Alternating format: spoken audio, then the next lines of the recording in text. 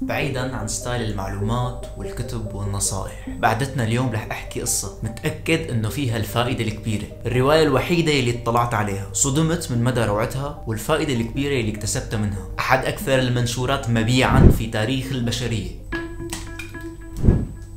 عن جد هالمرة وقفوا الفيديو وجيبوا لكم شي تشربوه. زبطوا القعدة واسترخوا. أنا عمر حموي من دورها يلا نبدأ. It's your time with Duetta.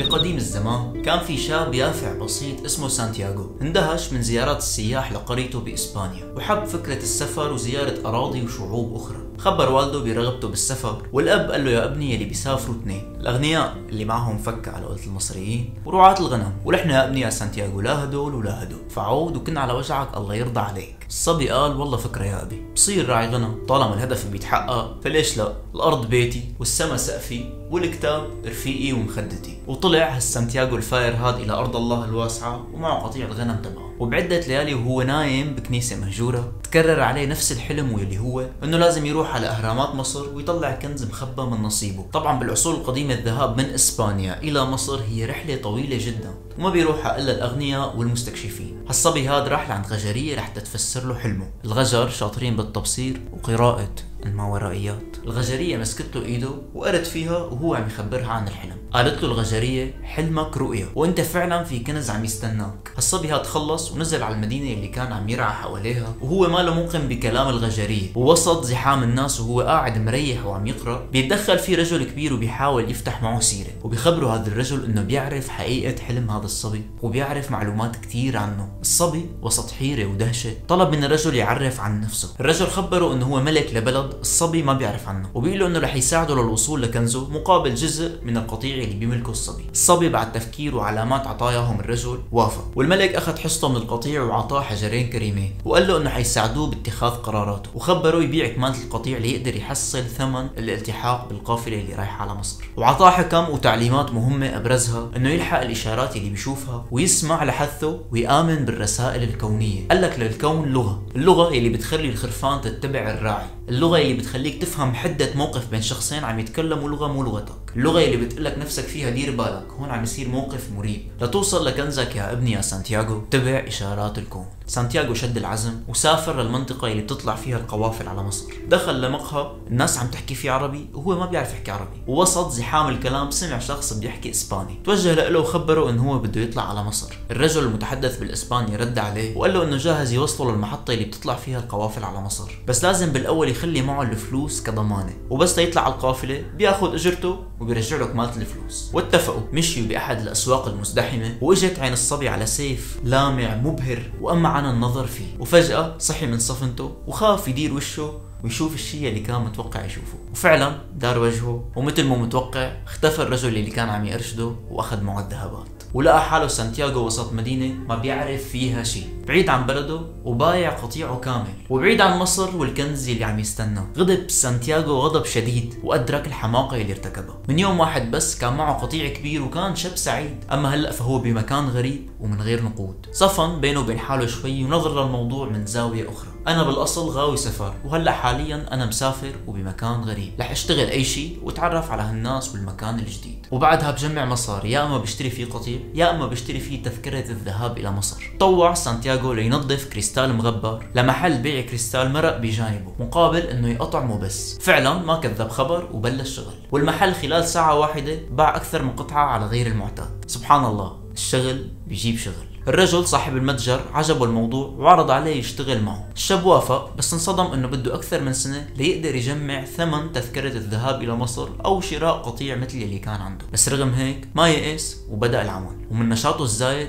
تحسنت المبيعات جدا. الدكان يا شباب ويا بنات انرزق. وسانتياغو خلال هالسنة جمع من دخله مبلغ بيقدر يشتري فيه قطيع ضعف حجم القطيع اللي كان معه من سنة. وبيزيد معه فلوس كمان. سانتياغو حزم أمتعته وقرر ينسى الماضي وما يتجاهل حلمه. وذهب للمحطة اللي حتنطلق منها القافلة على مصر. وبتوجيهات من قائد القافلة أقسم جميع المسافرين أنهم يتبعوا تعليمات القائد مهما حصل لأنه بالصحراء حياة الركاب بعهدة قائد القافلة. بدأت الرحلة وتعرف سانتياغو على رجل إنجليزي. هالرجل كانت كل أمتعته كتب. هالكتب بتحكي عن الكون ولغته وعن العارفين بعلوم الكون الناس اللي بتتمتع بالعمر المديد والحكمة المطلقة. ناس يقال أنهم بيقدروا يحولوا أي شيء لذهب. والإنجليزي التحق بالقافلة ليدور على رجل موجود بواحة بمصر. خيميائي عارف بعلوم الكون. الصبي دعا الرجل ليركز أكثر بسير القافلة والصحراء ليفهم الكون. وبالمقابل سانتياغو حيقرأ الكتب ليفهم الخيمياء أكثر. وخلال تقدمهم بالقافلة وصلتهم أخبار من حرس البدو إنه في حرب قبلية قائمة والوضع مخيف جدا. كملت القافلة رحلتها بليالي طويلة بالصحراء بجو مظلم ممتلئ بالخوف لحد ما وصلوا لواحة. وعرف الحرب بين القبائل وقتها إنه ممنوع الهجوم على الواحات اللي بيكون فيها غالبا أطفال ونساء المشاركين بالحروب. الإنجليزي طلب من الصبي إنه يسأله عن الخيميائي بما إنه بيعرف يحكي شوية عربي. الصبي والرجل وقفوا قدام البير ليستنوا الشخص المناسب لحتى يساله شوية وقت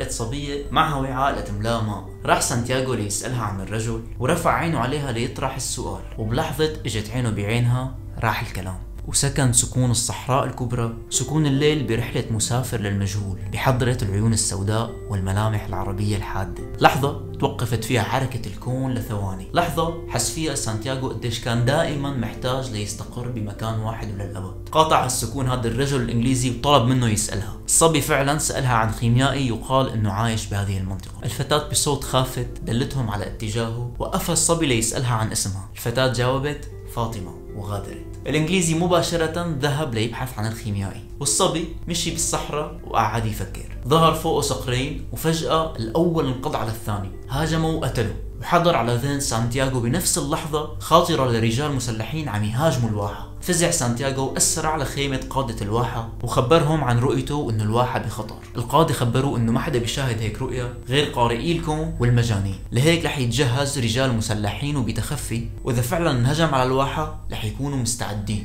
ورح يقتلوا المهاجمين ورح يعطوا للصبي مقابل كل رجل ميت منهم عملة ذهبية واحدة. وإذا ما حدا إجا فما رح يرجعوا السيوف من غير دم. رح يقتلوا الصبي المجنون عقابا لإله. الصبي خرج من الخيمة وهو مستاء جدا. وتمنى أنه ما أخبر حدا برؤيته وفجأة ظهر عليه فارس مرتدي أسود بأسود. ورفع عليه السيف وقال له مين أنت لتجرؤ تدعي إنك قرأت إشارات الكون؟ شرح الصبي الرؤيا للفارس وهو مترجي إنه ما يقتله. الفارس أخبره إنه اليوم التالي هو الفيصل. إذا ضليت عايش يا ولد تعال لعندي بتلاقيني عم بستناك.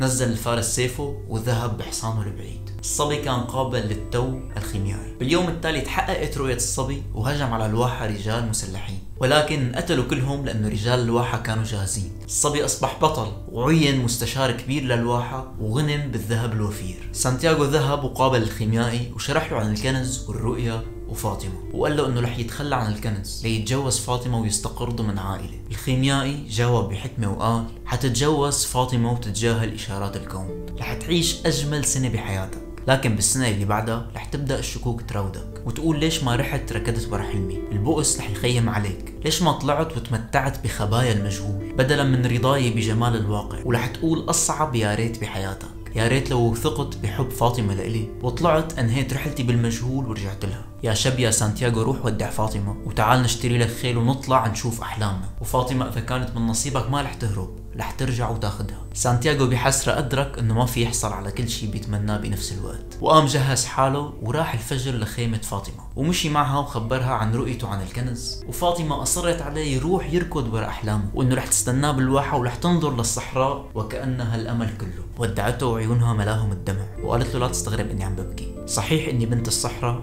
ولكني بالنهاية بنت. الصبي فتل ظهره وكله إيمان وقوة بتحقيق حلمه والعودة لأجل عيون العربية الصغيرة. شد الرحال مع الخيميائي وبرحلتهم حصل عدة مواقف ما رح أذكرها لسببين الأول ما بدي أطول عليكم كتير والثاني رح لكم شوية تشويق وأنتم عم تقرأوا الرواية الأصلية. الصبي بعد رحلة مليئة بالأحداث وصل للأهرامات وبلش حفر بمنطقة معينة وبعد كم ساعة هجم عليه كم واحد حرامي وأبرحوه ضرب لحتى يعترف شو عم يعمل. الصبي بعد ما اكتسب الحكمة من الدروس اللي تعلمها برحلته الطويلة تذكر أحد الحكم المهمة اللي تعلمها بالرحلة. النقود هي ثمن رخيص لحماية الروح وخبرهم الصبي عن الرؤيا وإنه اجى من مكان بعيد لحتى يستخرج كنز كبير العصابة ضحك على سذاجة الصبي وخبره إنه المجانين بس هن اللي بيلحقوا أحلامهم وإنه هو شخصيا حلم إنه في كنز بكنيسة مهجورة بإسبانيا. بس أكيد ما راح ولا دور عليه. العصابة تركت الصبي وراحت. الصبي ابتسم في ذهول وأدرك روعة الموقف يلي حصل. ورجع سانتياغو مطرح ما بدأت القصة كلها بالكنيسة المهجورة وطلع كنزه وهو عم تملاه الإثارة والسعادة. سانتياغو بإيمانه بأحلامه وخلال رحلته المثيرة أصبح خيميائي قارئ للغة الكون. ورجع سانتياغو وجه عيونه للصحراء وقال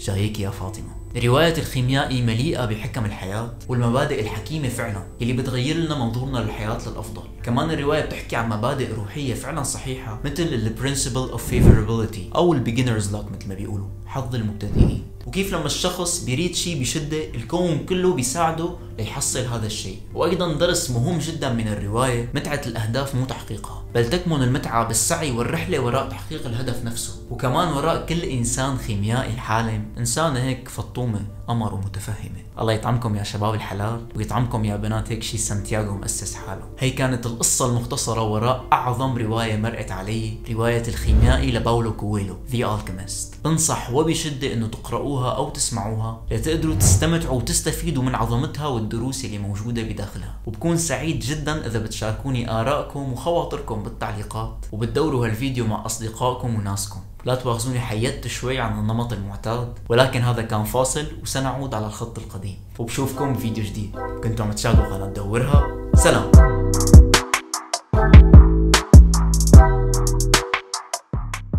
قالوا منك عارفة شو بيعملوا فيه العيون السود على ولد فيروز. يا حالاتها من حلا وعيون سود مكحلة. هي شكلهم كانوا كلهم عم يحكوا عن فاطمة. كبرنا لكم القنينة اليوم لأنه الفيديو طويل مثل ما انكم شايفين يعني. فبتعرف بده الواحد يشتغل يرطب يا رب. شرفوا إخواتي.